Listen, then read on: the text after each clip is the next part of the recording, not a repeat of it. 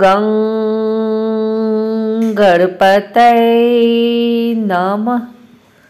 आइए सुनते हैं सकट चौथ के दिन संतान प्राप्ति के लिए सकट चौथ की यह कथा।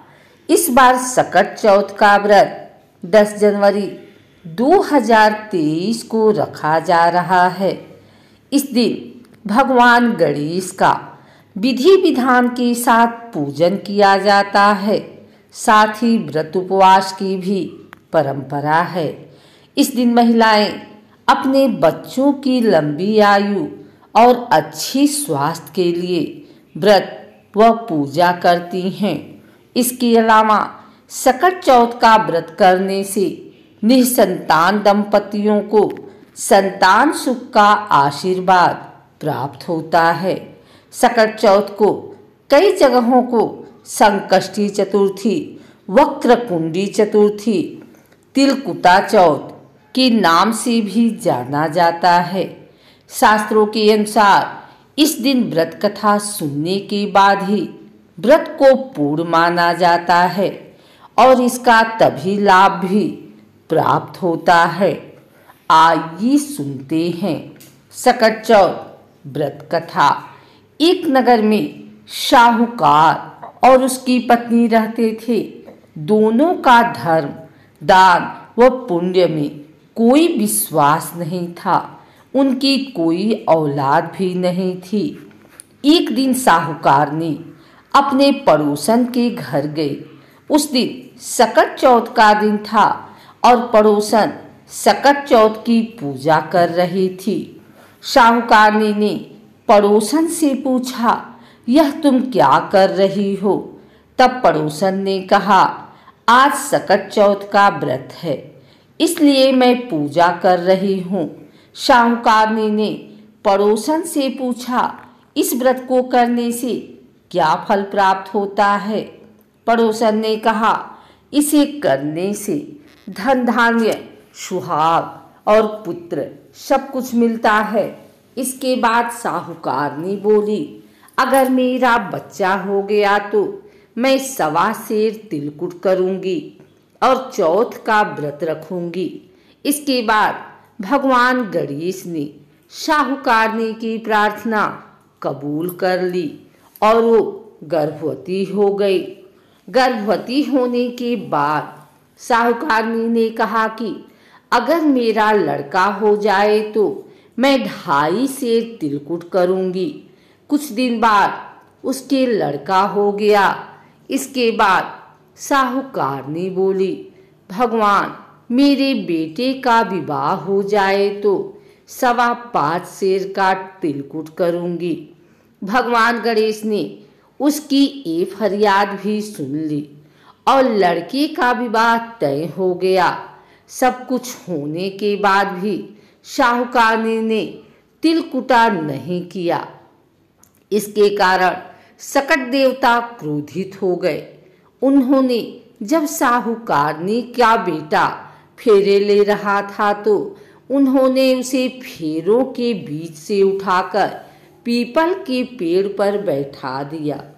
इसके बाद सब लोग बर को ढूँढने लगे। जब बर नहीं मिला तो लोग निराश होकर अपने घर को लौट गए।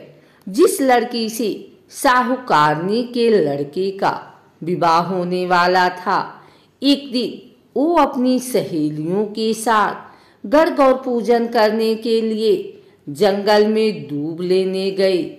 तभी उसे पीपल के पेड़ से एक आवाज़ आई, ओ मेरी अर्धव्याही, ये सुनकर लड़की घबरा गई और अपने घर पहुँची। लड़की की माँ ने उससे वजह पूछी तो उसने सारी बात बताई। तब लड़की की माँ पीपल के पेड़ के पास गई और जाकर देखा तो पता चला कि पेड़ पर बैठा सक तो उसका जमाई है।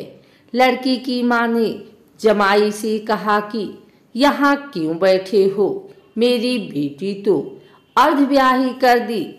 अब क्या चाहते हो? इस पर साहूकारनी का बेटा बोला कि, मेरी माँ ने चौथ का तिलकुट बोला था, लेकिन अभी तक नहीं किया।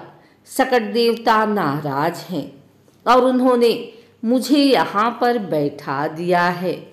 ये बात सुनकर लड़की की माँ शाहूकारनी के घर गई और उससे पूछा कि तुमने सकट चौथ के लिए कुछ बोला था?